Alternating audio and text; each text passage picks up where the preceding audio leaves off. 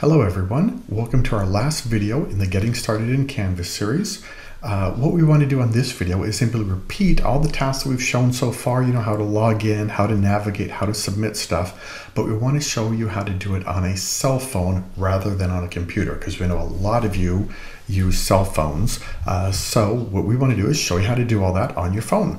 So the first thing you need to do is download the Canvas app, uh, get it from your store. It is free. And then once you've done that, go ahead and open up the app. All right, once you open it up, you're gonna see a login page. The first time you're actually gonna have to type your school name in. You'll see this screen, start typing in Bates, select Bates Technical College, and that will actually take you to our login page. All right, and so we're gonna click on that login to Canvas button and go ahead and log in.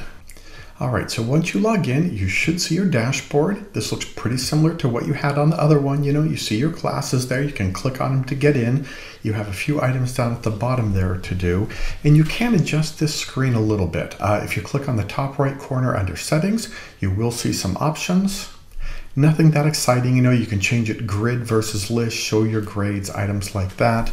The more important one, once we're done, is if you click on the left-hand side, you will see the ability to go into settings and change things like, for example, if you click on the landing page, you can decide where you want your uh, where you want to land. You know, do you want to land on the dashboard, uh, notifications inbox once you log in? You can also click on appearance to change the dark theme if you want to do that as well. Once we've made our choices, we get back to this dashboard here. And then again, we're looking at our classes. We're going to scroll down and find the class that we're looking for. In this case, that Bates accessibility training we've been working with. We click on it. And the big thing you notice right off the bat is we don't have a home page anymore. There's no text. It's just that navigation screen is all we have. If you want to see the home page, you actually just click on it. And now you can actually see the home page. You see it's all the content there. Everything's there. It's just not there as soon as you log into the class. The more important thing is that navigation menu so that you can get around. You know, look at your announcements, look at your syllabus, see how you're doing the class by looking at grades, items like that. Once you've done that, we can click on modules to go ahead and navigate. And that gets us into our class, okay? So that's uh, getting in, navigating, getting around a class in our dashboard, what we want to do now is submit an assignment because this one definitely is a little bit different on your mobile app. So we're going to scroll down, click on project. Uh, you'll notice you still have, you know, the instructions from the instructor. So you can scroll down and see all of that. Again, please do that. Uh, one thing that isn't very good is the rubric is hidden a little bit. You have to click on that top button that says submissions and rubric in order to see it. And then once you've done that, click on rubric. And even with that, you then have to select the individual scores, you know, five or three or zero in order to do it. I agree, you know, that's very clunky. It's much easier to have in one place, but that's the only way that you can go in is click on rubric and then click on the individual scores for each item in order to read and see what they are, okay? All right, so let's go ahead and submit that assignment. We're gonna click on the blue button there, submit assignment, and you'll see the same two options, text entry and file upload. So type directly into Canvas or upload a file that's on your phone somewhere and submit that one. So let's click on text entry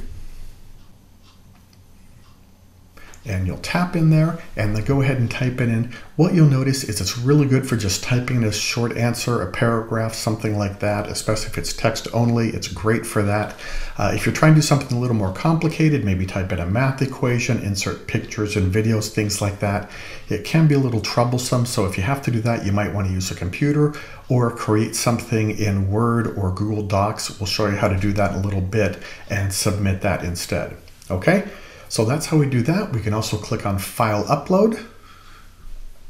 And if we know where it is, it's actually pretty simple and straightforward. We just click on the Add File, go find it in our phone, click on the file, and hit the Submit button. And there we are. We see the confetti. We're done. Okay, so last thing to show you what a lot of people want to do is actually type something up on their phone in uh, Google Docs, Word, you know, a file from their Google Drive, something like that, and submit that.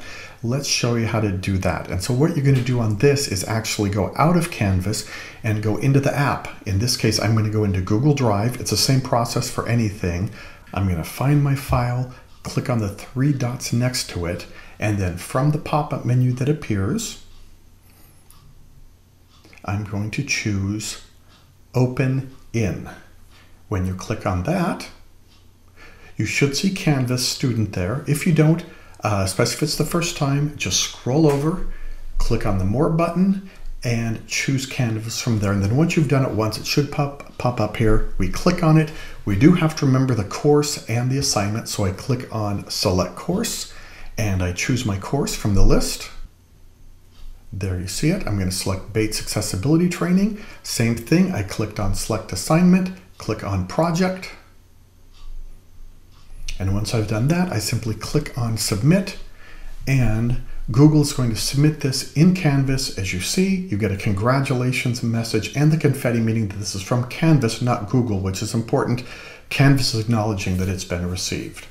If you're paranoid, and you should be, you can simply go back into Canvas, click on Project, and we see right here that it has been submitted, so we know we did that successfully. Okay, so this is the end of the last video. Hopefully everything goes smoothly for you, and most importantly, again, hope you have a great quarter here at Bates.